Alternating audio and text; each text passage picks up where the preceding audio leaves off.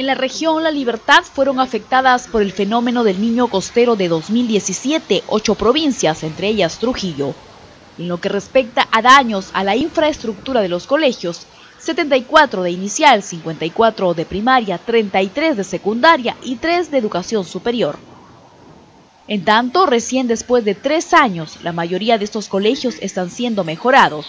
Tal es el caso de la institución educativa 8229, del barrio 5C del centro poblado menor Alto Trujillo en el distrito El Porvenir. Se van a construir 18 aulas aquí, con su mobiliario nuevo, con su equipamiento nuevo, dos bibliotecas, dos salas de usos múltiples, distintas áreas administrativas, un, un polideportivo ahí, una canchita multiusos, techada con policarbonato.